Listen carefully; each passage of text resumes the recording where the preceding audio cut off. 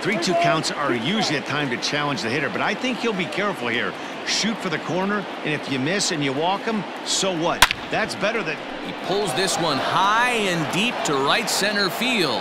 And that one is gone!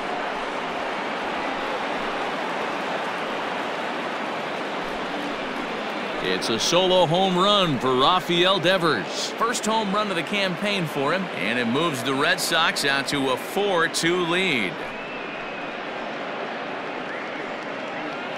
Yeah, everyone in the stadium, including the guy in the mound, knew it was just a matter of time until this guy cranked one out of here. Well, that's the first one of the year, and many more are sure.